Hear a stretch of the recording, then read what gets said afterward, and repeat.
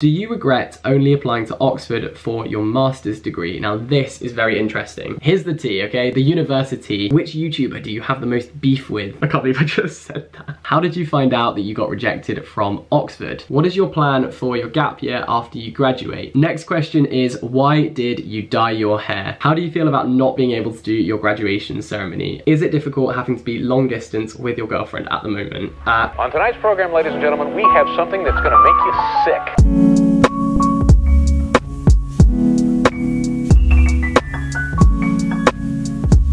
Hello everyone and welcome back to my YouTube channel. My name is Jack Edwards and today I basically thought I would do a little Q&A because I haven't done one for ages and also there are a few more of you over on this channel right now. We are very, very close to 200,000 subscribers, which blows my mind. That doesn't make any sense to me. So I thought it was about time that some of you got to know me a little bit better. So I took to Instagram and asked you guys what you wanted to know. And let's just say um, there were a lot of questions. Okay, so without further ado, let's get on with answering some questions that you guys have sent me. So, oh, this one's really nice. It just says, how are you? Like, genuinely, how are you? I'm good. I'm okay. It is a very weird time trying to work out how to do my final term of university online. And obviously it is really sad that loads of things that I've been looking forward to for so long are all just being cancelled. But that being said, I do feel this real high school musical sense of we're all in this together. I don't know if anyone else feels the same way, but I do feel this weird sense of kind of reassurance because everyone else is going through it all at the same time. So I'm just taking each day as it comes, trying to work out this bizarre situation and work out, you know, what my priorities are. And yeah, it's a bit of a strange one. Oh, this person is asking the important questions. What is your go-to Tesco meal deal? Chicken and bacon pasta, iced coffee, and also a chocolate bar because I am a child. How are you staying in contact with your friends during this crazy time? I'm trying to do as much as I possibly can. I'm trying to start the conversation, trying to live life as normally as we can and still try and catch up with people as much as possible. And one really great and easy way to do that is by using Lark, who have very, very kindly sponsored today's video. I genuinely love Lark so much. It's such a cool platform to create and collaborate with your friends and your colleagues and just other people. You know, these times times are totally unprecedented. They are crazy featuring Beyonce and Lark kind of helps bring you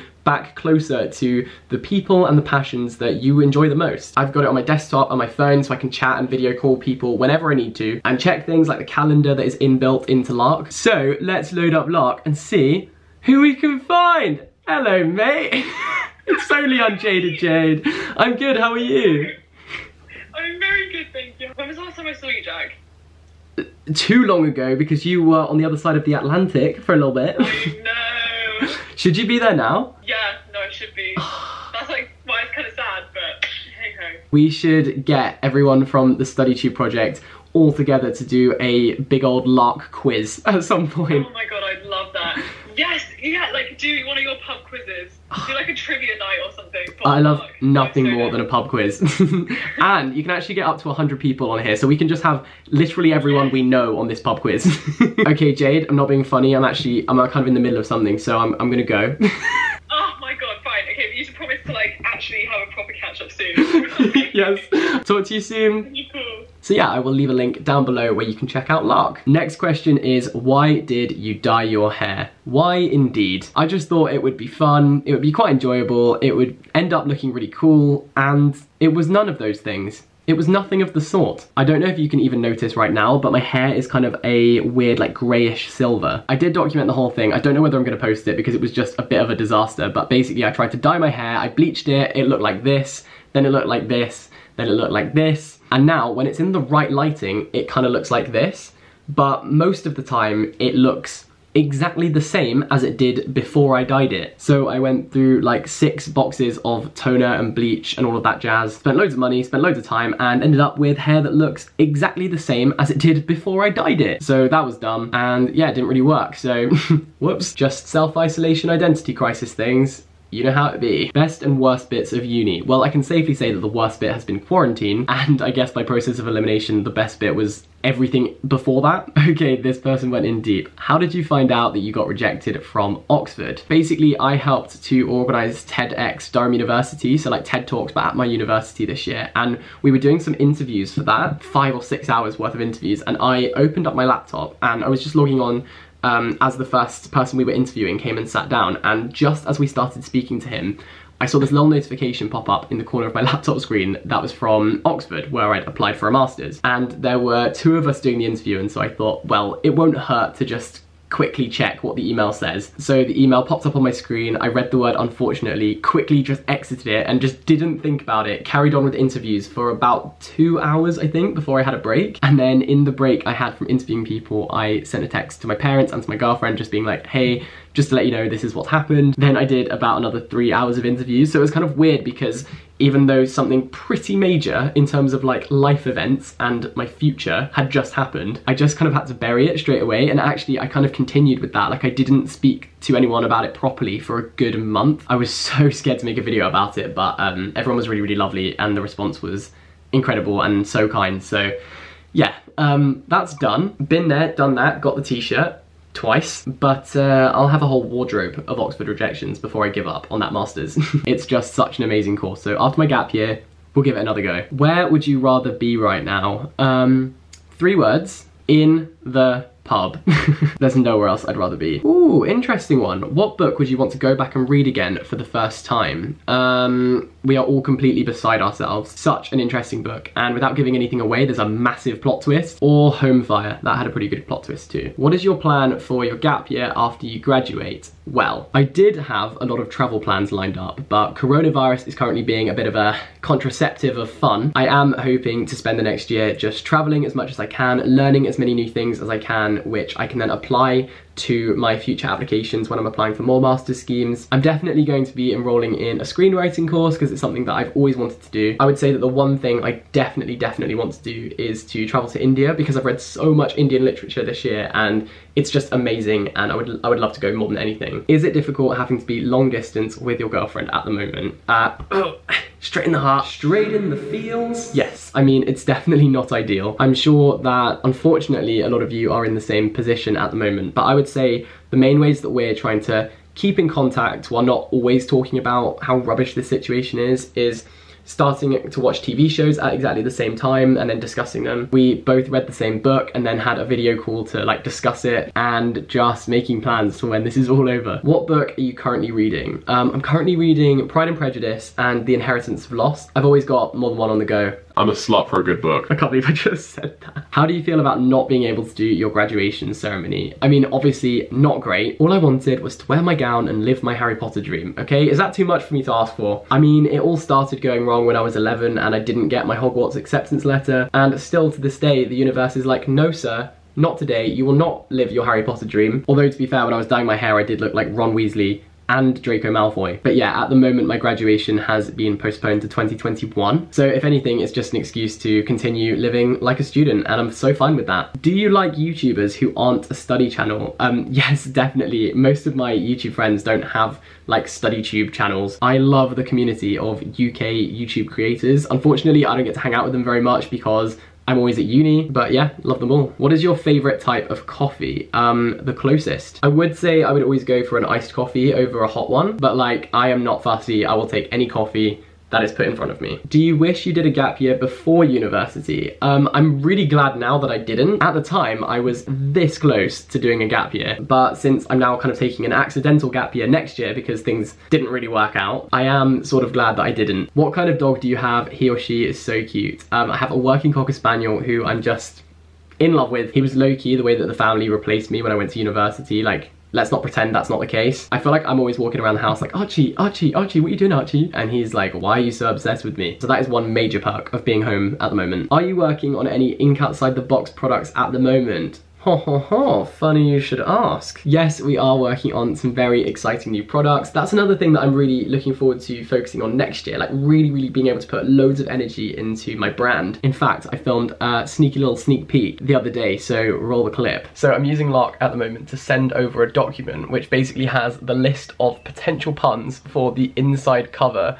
of a new product for Ink Outside the Box that we're planning. I always send over a list of puns, good, bad, and ugly. But the really cool thing about Lark is that you can see someone editing the document in real time, so you can see how they're literally reacting and changing what you've put. So if I share that, there we go, we've got my list of puns. Um, I reckon highlight your favourite one and then I'll know.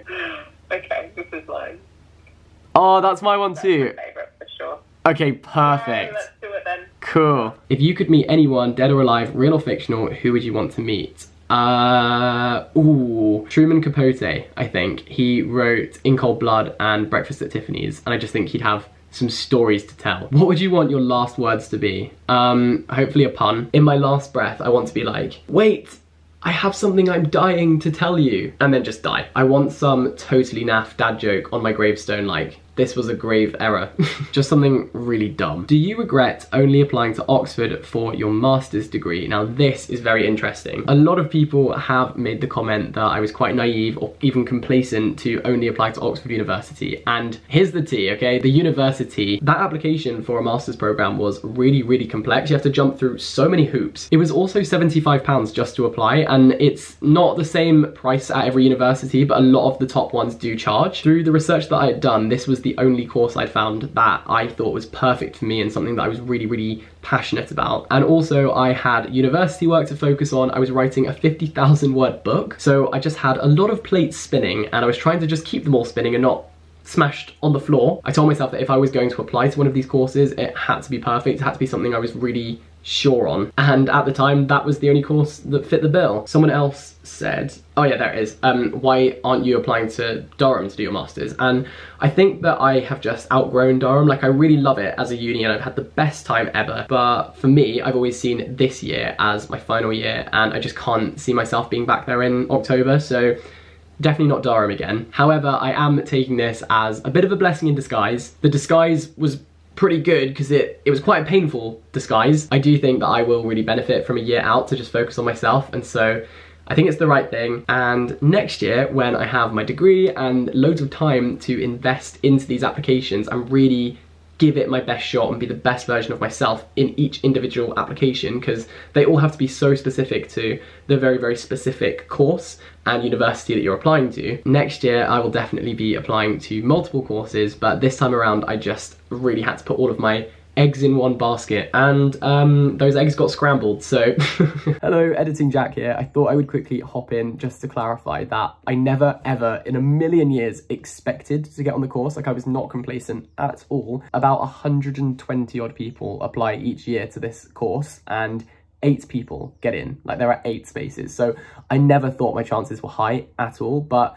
it was the strongest application that i was capable of at the time. I always knew when i applied that it would be way more likely that i would be taking a gap year and reapplying next year once i had my degree and i had time to really really focus on it again. So i didn't only apply to one course because i'm super cocky and just really backed myself. I just only had the time to invest in my top top priority. And so that's what i did but i always knew that i would more than likely be taking a gap year. Was it hard managing a relationship in uni? No it was the best thing ever. Would highly recommend to a friend. If you could take any other uni degree what would it be? That kind of rhymes. Shakespeare is that you? I would take classics history or psychology, I think. Favorite movie, um, The Truman Show or The Breakfast Club? What is your worst habit? Um, it would be easier if I could just list my good ones.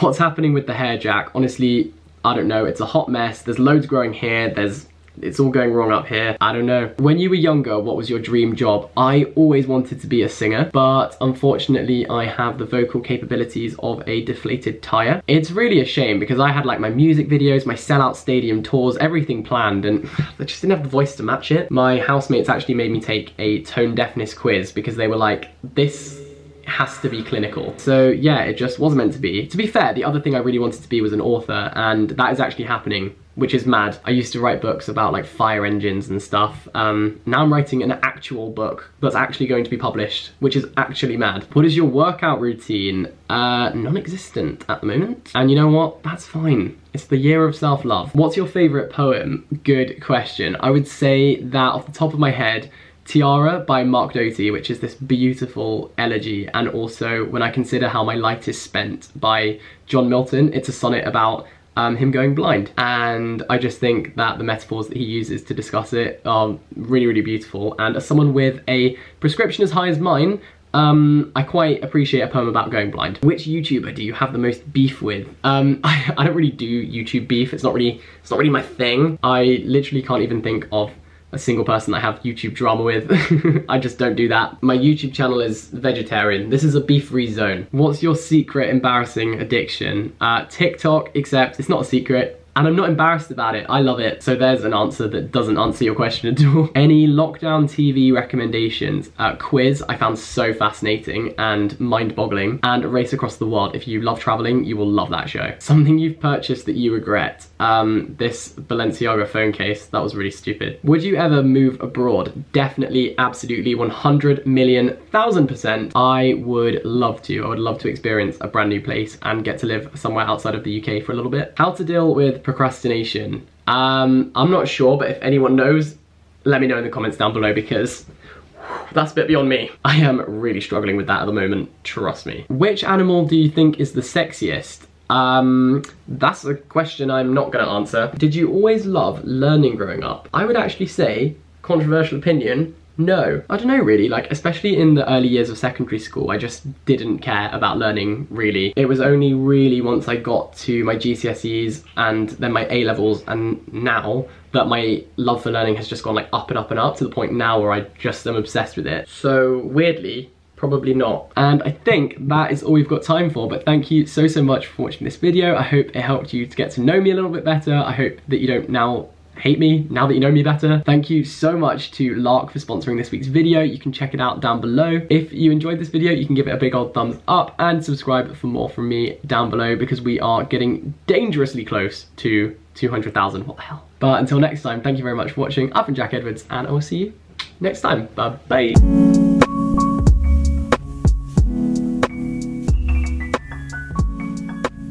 In case I don't see you, good afternoon, good evening, and good night.